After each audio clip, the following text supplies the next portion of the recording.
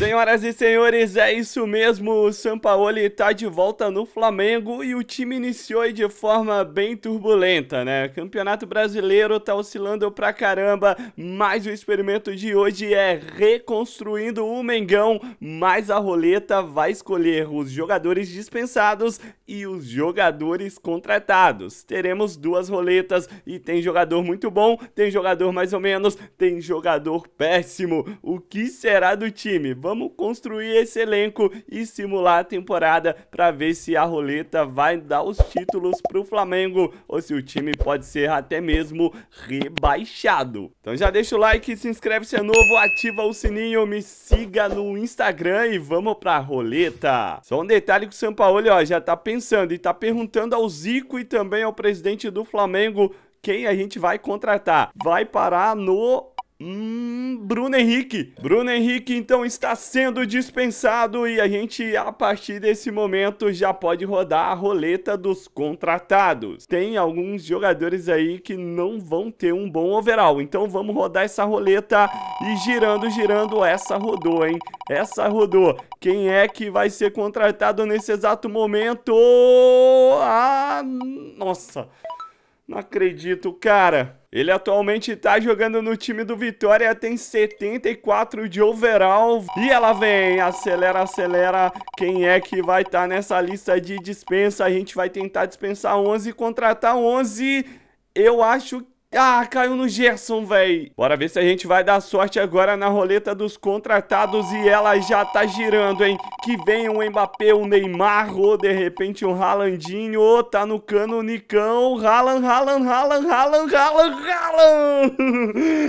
o cometa é nosso, véi. Ele tá com 88 de overall aqui no PES barra e futebol. Roleta dos dispensados já tá girando, girando e muito. Que não seja um jogador muito importante do time, a gente já perdeu o Gerson, o Bruno Henrique também. Então, agora o Matheus França. Girando agora o nosso jogador contratado. Já pegamos o Ralandinho e o Zeca. E o terceiro vai ser o Thiago Heleno, o Ganso. Ganso, cara. 80 de overall não é nada ruim. Bora gerar em mais um demitido ali do Mengão. Vamos tentar de demitir pelo menos 10, né? Antes da gente fazer o experimento. E vai ser o Pedro. Não, o Pedro não, cara. Já gera a roleta dos contratados que não seja o Rio Ribamar, pelo amor de Deus. Vem, vem, vem, Marquinhos, seria um zagueiraço, Soares, Soares e o Cano. Cara, tá fazendo o time do Fluminense, né? Já foi o Ganso, agora o Cano. O argentino tem 78 de overall, só lembrando que a gente vai contratar realmente 10 ou de repente 11 com goleiro e somos obrigados a montar o time com esses contratados, independente se for tudo atacante, tudo meio campista. Já bora girar, gira, gira roletinha, tira um jogador ruim aí pra gente, quebra esse galho, Neneca pode ser, Fabrício Bruno também, Ayrton Lucas não. Aê, mano, Fabrício Bruno. E quem vamos contratar pro lugar dele? Vem roletinha no Messi, seria excelente. Vai no Alisson, é um bom goleiro. Cristiano Ronaldo, Cristiano Ronaldo, para, para. Robozão, mano. A gente já tem três centroavantes. Robozão com 89 de overall. Olha, os jogadores já chegaram, tá aí o Cristiano Ronaldo vestindo a camisa do Mengão e tá muito insano. Já contratamos cinco, faltam mais 5 e talvez o goleiro. Vamos lá, manos. O que que vai ter pra gente aí dispensando o Cebolinha? Não tá tão ruim, cara. Ele vaza pra gente contratar quem, cara? Vem que vem aí na nossa listinha. De Bruyne não, já passou. O Messi, o Messi, o Messi, o Arnold. O Arnold Tá bom, tá excelente, lateral e tanto, hein? No próximo a gente vai colocar muito mais jogadores piores para ficar mais divertido ainda. E vamos lá com Arnold 88. Mais um da listinha de dispensas aí do Mengão. Torce pro menor overall possível, pode ser o Vidal. Vai, manda. Manda o Vidal embora, cara. Excelente. E vamos ver o que, que vai sair aí pra contratar o Mengão. Vamos de sétimo jogador. Vai no Nenê, Thiago Heleno, Renato Augusto.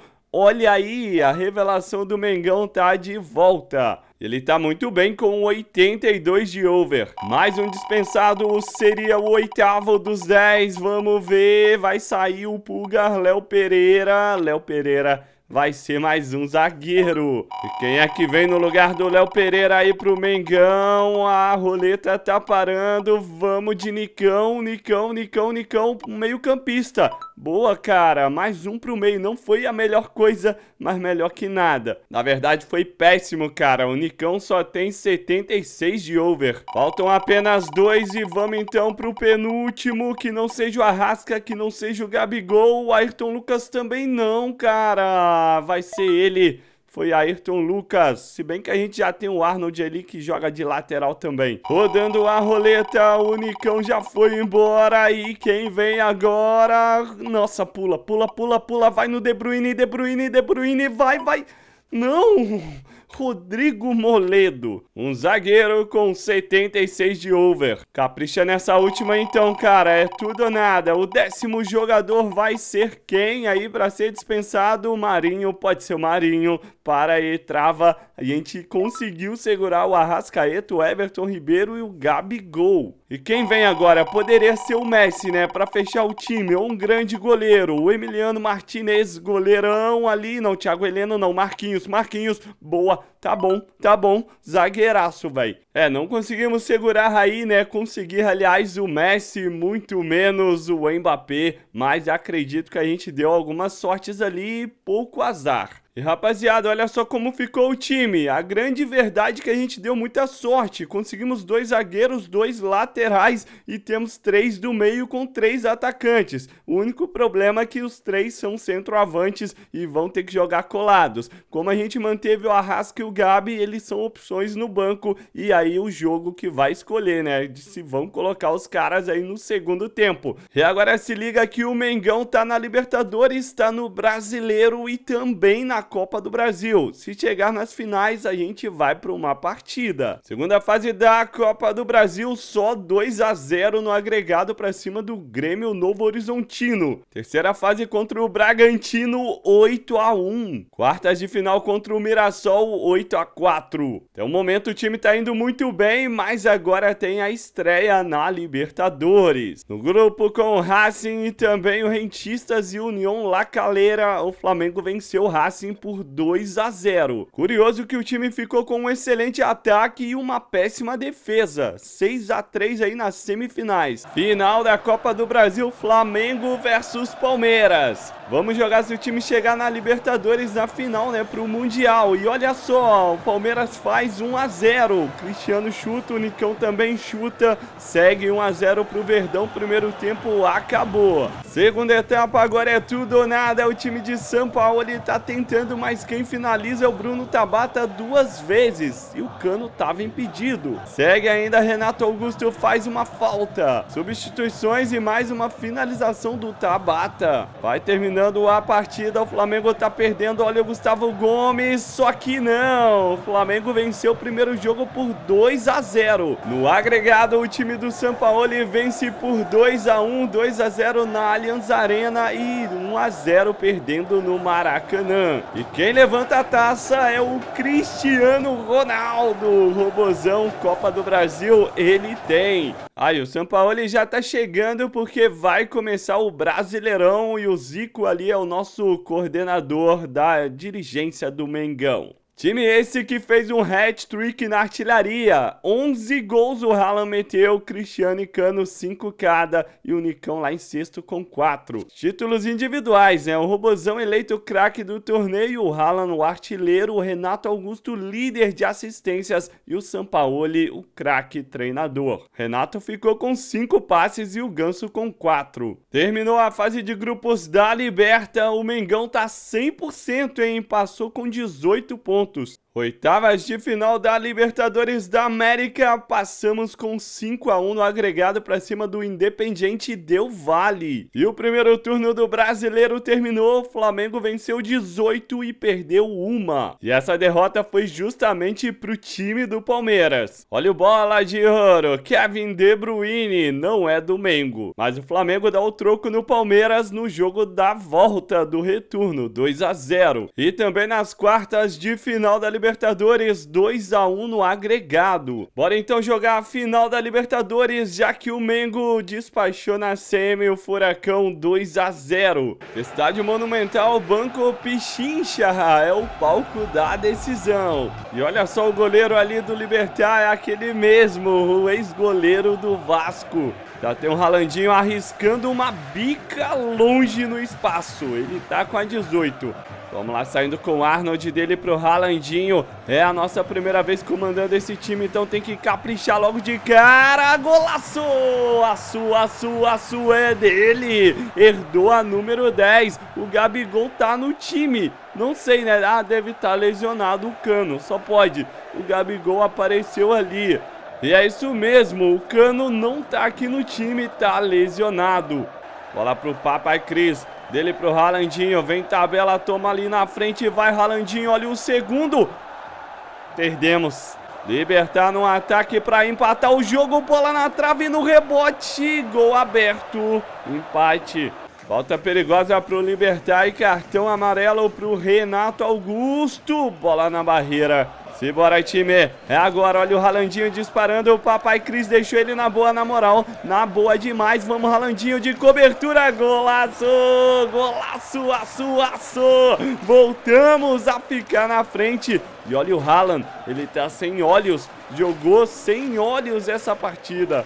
Um golaço, senhoras e senhores, com o patrocínio do FIFA da última temporada. Já estamos no 23, indo pro 24.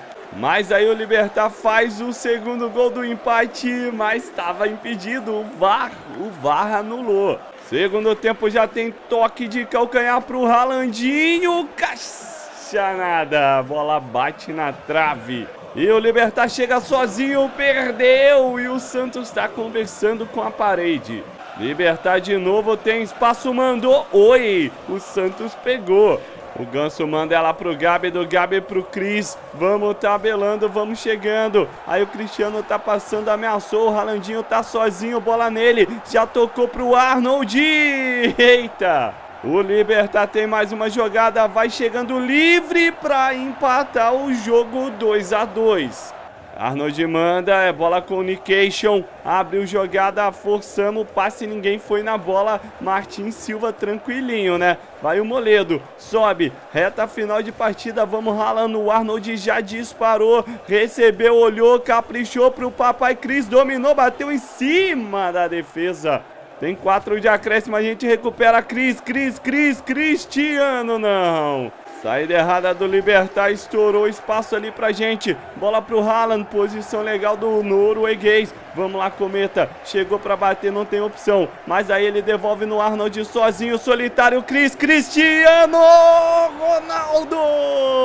Tem gol do Robozão no apagar das luzes da final da Libertadores. Ele disse, eu vou levantar canecation de Libertation. Já venci, já levantei levantei várias Champions. Ele queria, mano. Olha a jogada. O Ralandinho rolou. O Arnoldzinho caprichou e mandou. Falou: Papai, tu tá com a 9, mas faz gol igual quando tu usa a 7. E é nessa expectativa, mas olha que sacanagem. Deixaram o Moledo levantar. O Cristiano tava com a braçadeira, mas não levantou a taça da Liberta.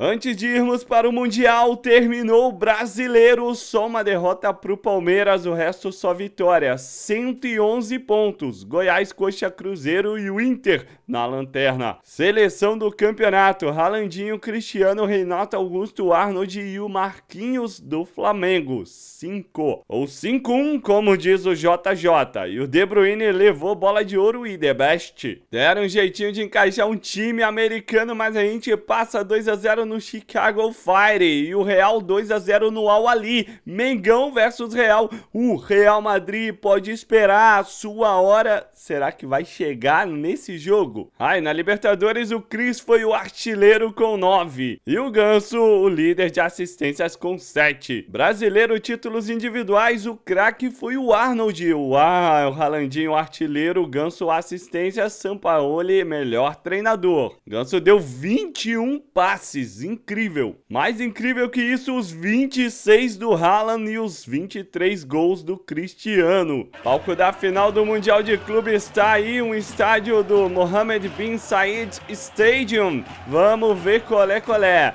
Flamengo com os 10 convocados, exceto o Gabi, que tá no lugar do Cano, que segue lesionado. Bola rolando pro Mundial, já derrubaram o Cristiano. Será que tem lei do ex? Olha o Ralandinho, esperou o pai, deixou passar pro Gabi. Gol poderia tocar, hein? O Ralandinho e o Cris estavam chegando. E olha o Benzema, bateu, guardou. Gol do Real Madrid. Já vamos achar espaço ali, bola no Cris, tem o um Ralandinho pedindo o passe, não foi, então ele prefere no Gabi, o Gabi perde ela pro Rudiger. Ganso ganha no alto, Cris domina, tem o Gabi, tem o Gabi, hein, caprichou, mandou, vamos limpar o Rudiger, lindo lance do Gabi, mas essa perna direita é ceguinha. E o contra, o contra, olha o contra-ataque, quebraram Cristiano. Já estamos aqui no segundo tempo, segue 1 a 0, mas agora tem um bom ataque. Vamos caprichar, Gabi, tocou, Cristiano dominou para bater, desarmado né, nas costas ali, literalmente. Bola ainda com o Mengo, vamos caprichar, olha o Gabi, posição irregular, Gabigol, presta atenção. E o time já se mandou agora com os zagueiros pro ataque, é tudo ou nada. Pode ser agora, olha onde tá o Moledo. Ele domina, pode chutar, ele chuta, ele sabe chutar, ele sabe chutar. Meteu na trave, cara. Cobrança curta, hein? Real Madrid tá fazendo serinha ali pra segurar a posse de bola no ataque. Bola pro Raio. Rodrigo faz o segundo. Vamos lá, vamos lá, vamos, Gabi. Boa bola do Gabi, do Cristiano, dele pro Haaland. Que isso, velho, vamos fazer, Haalandinho. Voltamos pro jogo numa jogadaça do trio ofensivo. Cristiano toca de letra, Gabigol tentou passar pro Haaland, vai sobrar com ele, hein? Olha o Militão, o Militão vem no carrinho na bola. Tem bola pro Cristiano, o Haaland pede, vai acabar o jogo, o Haalandinho bate a escanteio, tem 5 de acréscimo. Até o nosso goleiro tá ali na área, hein? Até o Santos foi. Vamos mandar ela curta pra ver o que dá pra fazer aqui, ó. Se liga, fica aí Santos, vem bola pra área, nossa, não passa, sobra com o Flamengo. Caraca, é uma blitz. Todo mundo, o Santos ainda não voltou e me atrapalhou. Mas so, sobra, sobra, sobra, Cristiano pra fora. Perdeu. Tem desvio. Tá dando impedimento. E o Sampaoli se comprometeu a defender o Real Madrid. Ele saiu comemorando aí com os Galácticos. O Real Madrid vence. A gente bateu na trave. E olha que sacanagem, velho. Foi muito comprado. O Sampaoli perdeu de propósito. Os jogadores do Real Madrid estão levantando ele, agradecendo pela péssima escalação ou formação tática que ele fez. Não acredito, mano. Tamo junto sempre, rapaziada. Real Madrid fica pra próxima. Não deu de novo. Até mais. Curta os dois vídeos da tela, hein?